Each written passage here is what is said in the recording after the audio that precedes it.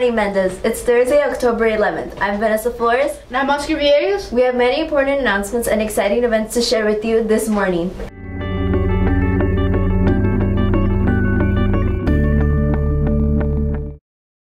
Flag football and girls volleyball are officially done. Good job to both teams in representing Mendez to the highest level of competition. Volleyball, please return your uniforms to Miss Zavala in room 212 and football. Please turn in your uniforms to Mr. Torres in room 213. Thank you, students slash athletes and coaches for a good season. Soccer clinics are back and they start this Saturday. If you are interested in playing indoor soccer and out on the field, please sign up with Mr. Torres in room 213. Mr. Torres wants you to remind that he can only take up to 25 students slash athletes for soccer clinics. Make sure you sign up quickly.